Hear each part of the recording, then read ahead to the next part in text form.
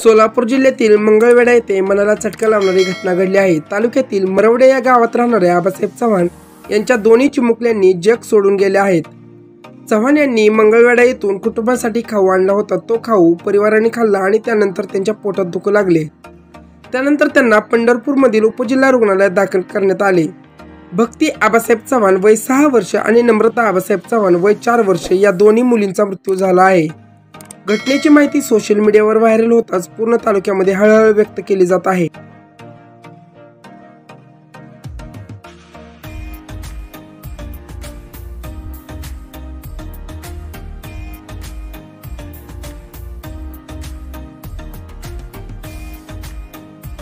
मी सायकलीवर चालले चला आपण जाऊया सायकलीवर. माझं घर.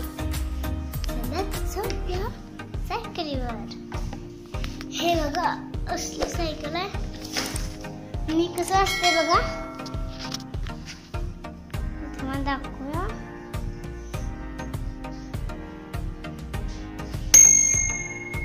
वाचलं ना? कसं वाचलं होय?